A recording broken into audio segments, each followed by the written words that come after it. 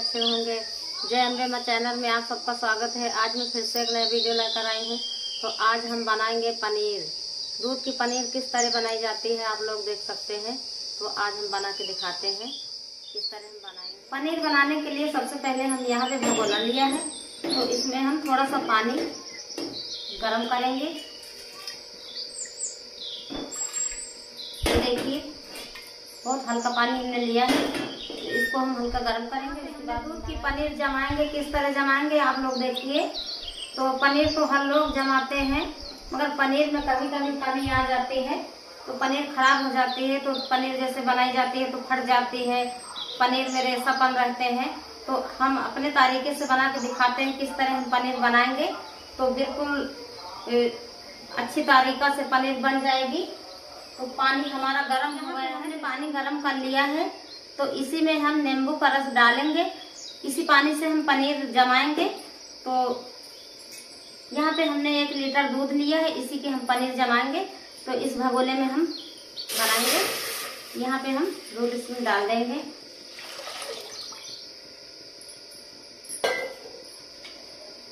यहाँ पे हमने दूध को इस भगोले में चढ़ा दिया है। तो इसको हम उबाल आने तक इंतज़ार करेंगे। तब तक के लिए जो हमने पानी गर्म रखा है तो इसमें हम, जहाँ पे हमने डेढ़ नींबू लिया है तो इसको हम इसी पानी में इसका रस निकाल देंगे। इस तरह।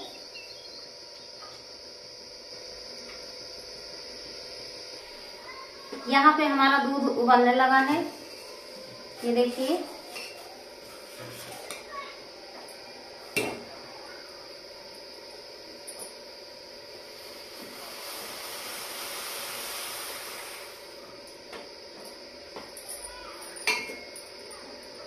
दूध हमारा उबाल मार दिया है तो अब इसमें जो हमने नींबू गर्म पानी में निचो कर रखा है तो इसका हम बीजा, इसमें बीजा न जाने दें, ध्यान रखें दोस्तों।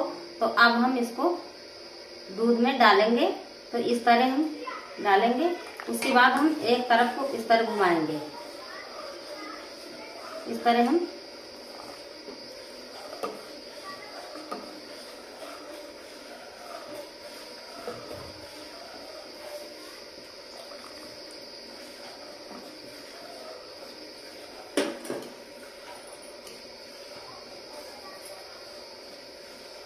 ध्यान रखें दोस्तों, इसको जो हम इस तरह घुमा रहे हैं तो एक ही तरफ़ को घुमाए, तभी पनीर अच्छी बन पाती है, नहीं तो पनीर फट सकती है। तो इस तरह हम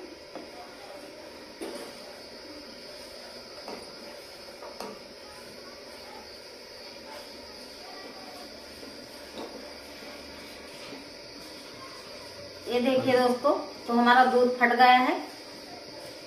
तो इस तरह हम इसको और भी पकाएँगे। अच्छी तरह से दूध हमारा फट जाए। तो पनीर में जो चिटकापन रहता है तो कभी बनाते समय पनीर जैसे पनीर बनाया है तो आप पनीर में कहते हैं कि लोग कि पनीर हमारी इसमें गल गई है, फूट गई है बनाते समय। तो इसी तरह बनाइए दोस्तों तो पनीर में कोई कमी भी नहीं आएगी। ये देखिए। अब इसको हम गैस को बंद करेंगे।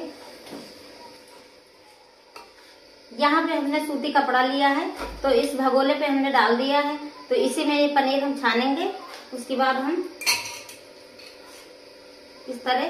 तो दोस्तों, ये हमारा दूध मोल का है। हमने खरीद के मंगाया तो इसमें थोड़ा सा पनीर बहुत कम निकली है।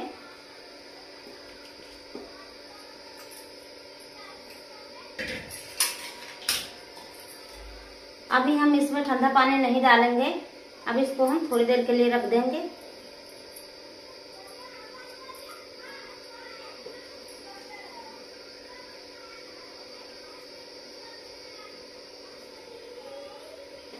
इसको हम इस तरह इसी कपड़े में हम लपेट देंगे। इस तरह इसका पानी निकल जाने देंगे। उसके बाद हम पानी इसमें डालेंगे।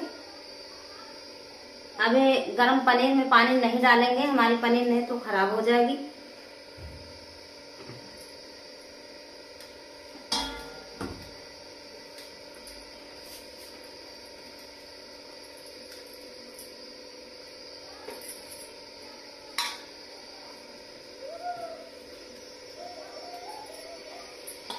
यहाँ पे हमने इसी कपड़े में हम इस पनीर को लपेट दिया है तो इस पर हम थाली रखेंगे। उसके बाद तरह इस तरह हम इस पर ये पत्थर रख देंगे। पनीर हमारी अच्छी तरह से जम जाए। उसके बाद हम इसको ठंडे पानी में भी डालेंगे। अभी नहीं डालेंगे। थोड़ी देर हम इसको रखेंगे। यहाँ पे देखते हैं कि हमारी पनीर किस तरह रही है। तो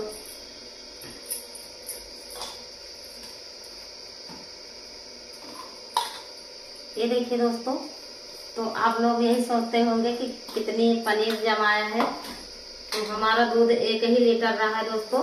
तो आप लोग चाहिए तो लीटर, दो लीटर, चार लीटर कि आप पनीर इसी तरह जमा सकते हैं। तो अभी, अब इस पर हम डालेंगे ठंडा पानी।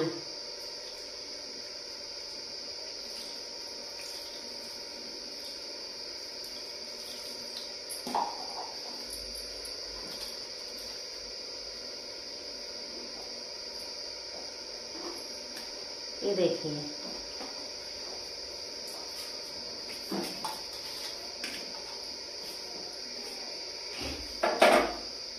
इस तरह की हमारी पनीर जमी है दोस्तों तो इसके हम अभी पीस काट के दिखाते हैं।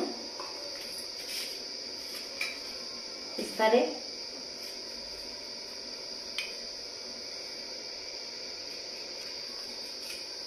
ये देखिए दोस्तों, इस तरह हम पनीर के हम पीस काट देंगे। यहाँ पे पनीर को जमा लिया है। तो हम क्या करें दोस्तों? दो, दूध हमने एक लीटर मंगाया तो हमारा दूध सही नहीं निकला है। तो इसीलिए पनीर हमारी बहुत थोड़ी कम निकली है दोस्तों। तो पनीर आप लोगों को हमने जमा के दिखा दिया है कि किस तरह पनीर जमाई जाती है। तो पनीर को हम आप लोगों को ये बता रहे हैं कि जो पनीर के आप लोग देख सकते हैं, यहाँ पे देखिए कितनी चिकनी पनीर हमारी बनी है। तो इसी तरह, इसी तरीके से आप लोग बनाइए तो कभी पनीर खराब नहीं होगी, जो हमने आप लोगों को तारीका बताया है। तो इसी तरह आप लोग चाहे जितनी पनीर आप लोग बना सकते हैं, बहुत आसानी से घर पर बना सकते हैं दोस्तों। तो आप लोग देखिए तो हमने आप लोगों को यही बता रहे हैं कि दूध हमारा एक लीटर है तो हमारे दूध में पानी बहुत ज़्यादा निकल गया है दोस्तों। दूध हमारा सही नहीं निकला है तो हम पनीर इतने ही बना पाए हैं। आप लोग देख सकते हैं। तो इसी तरह पनीर घर पर बड़ी आसानी से आप लोग जमा सकते हैं। हम ये भी बताना चाहते हैं कि जो हमने ये पानी निकाला है पानी दूध का तो आप इसको फेंकिए ना आप किसी सब्ज़ी में डाल सकते हैं आप इसके आटा गूंद सकते हैं तो इसको इस्तेमाल कर सकते हैं दोस्तों। तो यहाँ पे हमने जो पनीर बनाया है तो आप लोग अगर हमारा वीडियो अच्छा लगा हो तो लाइक करना कमेंट करना सब्सक्राइब करना। फिर मिलेंगे अगले वीडियो में तब तक के लिए नमस्कार दोस्तों।